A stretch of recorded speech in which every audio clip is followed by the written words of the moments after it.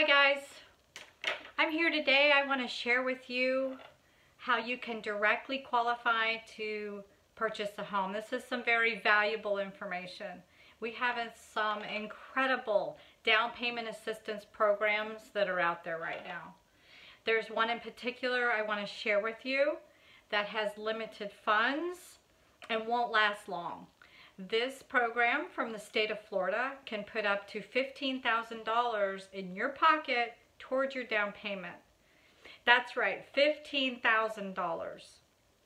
Now there are some key eligibility factors um, that you must consider in order to qualify. And I'll just cover a few of them here, the, the, the most important ones. Uh, one is you must have at least a 640 credit score. Uh, there are two. There are the eligible counties for this program right now are Pasco, Hillsborough, Clay, Osceola, and Duval counties.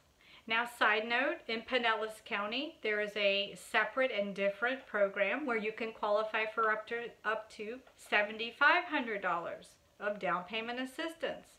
Also an incredible program.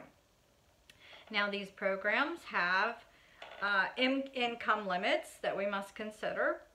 They also have purchase price limits for the home that you're looking for. You must be a first-time home buyer. A first-time home buyer is defined as a homeowner that has not owned a home within the prior three years. Now, if you have a spouse that has owned a home in the last three years, but is not going to be on the mortgage, you can still qualify. There is a first-time home buyers online course that you must take. Easy peasy. We're all doing everything online these days. What I want to say to you, if you have thought in the past that, hey, I don't have enough money for a down payment, I'm never going to be able to buy a house. I'll never qualify. Now is the time to take advantage of these programs. You might qualify and you never knew you would. Call me directly or click below to fill out the form and see if you qualify.